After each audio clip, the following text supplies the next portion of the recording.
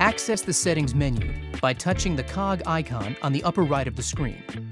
The settings menu will allow you to change quick start guide, auto start, time and date, cleaning cycle, descale cycle, brew temperature, default milk temperature, water hardness, auto off, screen brightness, work light brightness, sound volume, demonstration mode, and factory reset.